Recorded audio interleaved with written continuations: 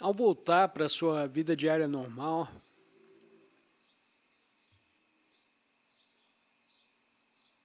espero que o retiro não termine, mas permaneça com você e dentro de você a essência do retiro. Não é a localização física, mas um estado de consciência. Um estado transcendente de consciência. Sua tarefa é viver, pode-se dizer, em ambos os mundos ou em ambas as dimensões ao mesmo tempo. Ocasionalmente você pode se perder na dimensão mundana e horizontal, no reino do fazer, no reino do pensamento. E geralmente, quando isso acontece, você notará estados internos disfuncionais e desagradáveis, surgindo muito rapidamente ansiedade, medo, raiva, irritação, ressentimento, problemas. E se você está nesse estado e depois é desconectado novamente do transcendente, da dimensão do ser, da outra dimensão, então esse é o estado inconsciente. E se não houver problema, você o criará. Isso é o que os humanos fazem. Somos encrenqueiros. Mas em um nível individual e coletivo, se você quiser aprender muito sobre criar problemas coletivamente, assista ao noticiário.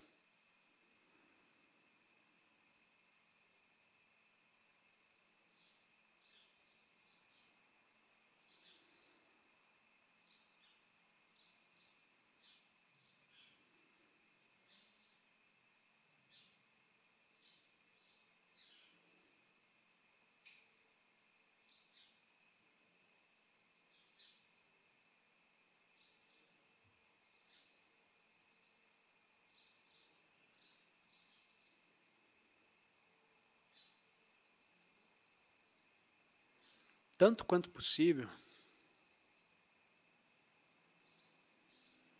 tenha o foco principal de sua atenção em sua vida diária,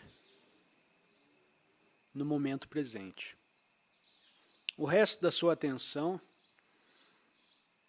Então, esse é o foco principal. Aqui é isso. O resto da sua atenção é para onde você quer ir, qualquer que seja a tarefa em que você esteja engajado, tenha um certo propósito. O objetivo é que você deseja concluir a tarefa. Então, ela alcançou seu objetivo. E isso é aqui. Coloque de lado, isso está em sua periferia. A visão periférica de sua consciência. É onde você quer chegar. E é isso que você está fazendo para chegar lá. E a sua atenção principal não está onde você quer chegar. Enquanto isso, você está apenas fazendo alguma coisa para chegar lá. Você pode ver isso como isso já cria um estresse interno. Estou aqui, mas quero estar lá. Essa é uma maneira normal de viver.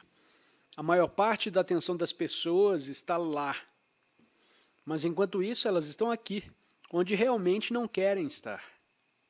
Eles preferem estar lá como mostram adesivos famosos, adesivos de para-choque de caminhão, que dizem algo como: prefiro pescar.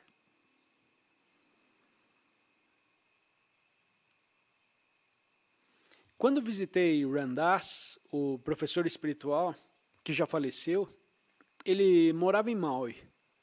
No carro dele vi um adesivo no para-choque que dizia: Prefiro estar aqui agora.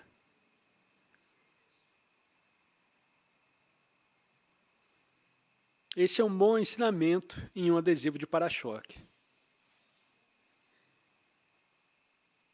Portanto, a sua atenção.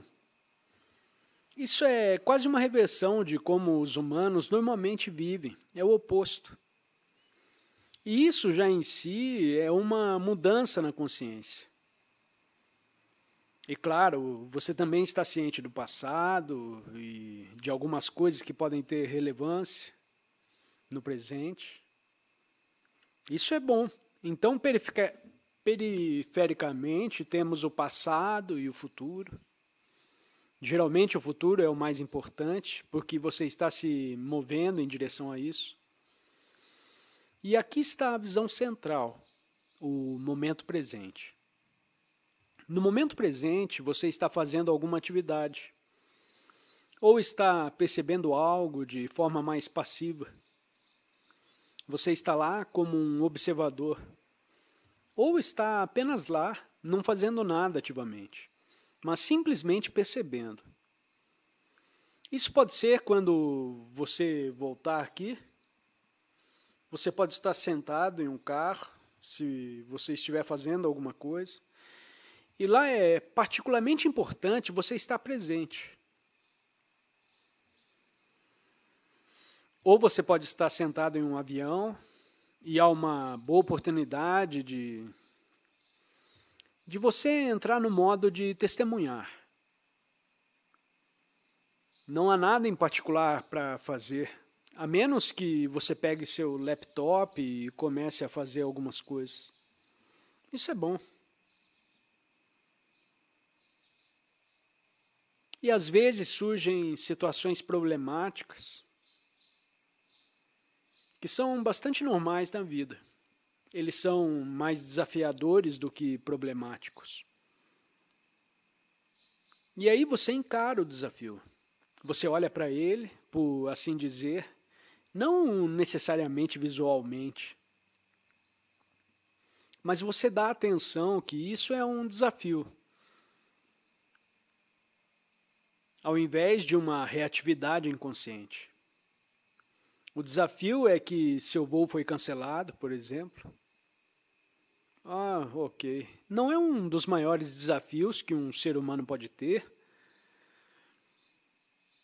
mas algumas pessoas reagem como se fosse.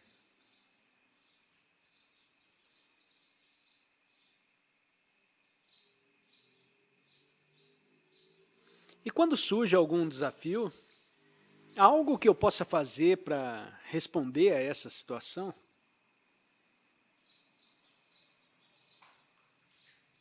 Ou é algo em que simplesmente tenho que dizer, bem, por enquanto, aceito do jeito que está. Porque agora não há nada que eu possa fazer. Ouvi, por exemplo, que em alguns aeroportos eles estão tão ocupados, sem pessoal suficiente, quando o avião pousa, que eles ainda ficam presos no avião por duas ou três horas. Aconteceu em Toronto e em outros lugares. Essa é uma boa oportunidade para se render. Algumas pessoas não podem fazer isso. Eles começam a gritar e berrar. Não há nenhum propósito específico, mas eles não podem evitar. Isso acontece com eles. Então, essa é uma oportunidade de rendição.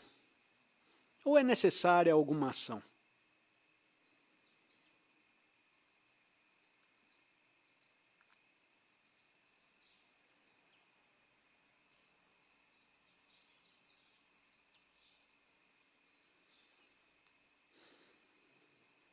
Essa é uma prática para se acostumar até que se torne uma segunda natureza, ter sua atenção no momento presente e não em outro lugar. E geralmente implica que você está ciente do que está ao seu redor. Isso é inseparável do presente. Estar no presente, através dos seus sentidos. Um ser humano mais alerta do que um ser humano normal, mas um estado de alerta em que não há tensão. Frequentemente, o estado de alerta em um ser humano está associado a estar tenso.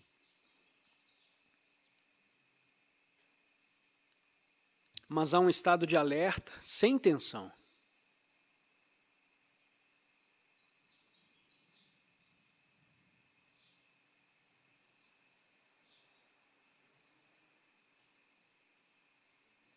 Mas não basta estar consciente de suas percepções sensoriais. Isso é bom. Também pode ajudá-lo a evitar situações perigosas, que caso contrário você simplesmente tropeça nelas. Não sabe como chegou lá. Você está alerta ao seu redor. Você vê como os animais, nesse sentido, estão muito alertas. Porque, se não estiverem, são comidos por outros animais. Muitos animais têm esse estado de alerta incrível. Não o mesmo que o estado de alerta humano, mas é uma consciência alerta de seus arredores, que muitos humanos não têm. Eles andam na rua e não estão realmente lá. Estão em suas mentes pensando em todos os tipos de coisas, exceto onde estão. E, portanto, não estão aqui.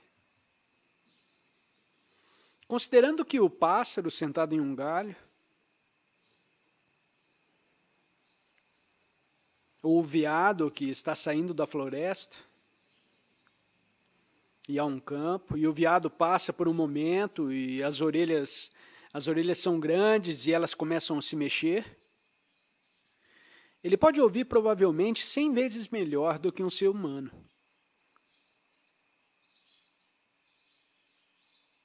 Ou um pássaro em um galho sentado.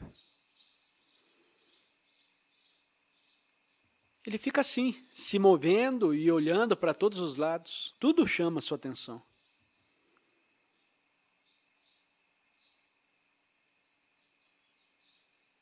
Então, de repente, ele voa. E é claro que não há tomada de decisão envolvida quando um pássaro sai voando de repente. Não pensou, agora eu vou voar desse galho. E vou até lá. Simplesmente acontece.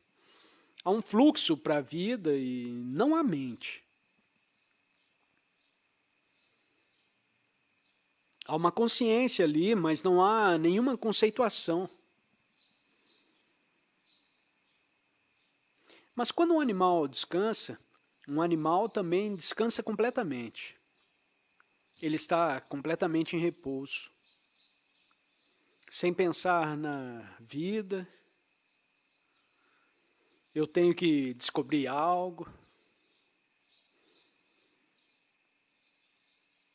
Qual é o propósito disso tudo?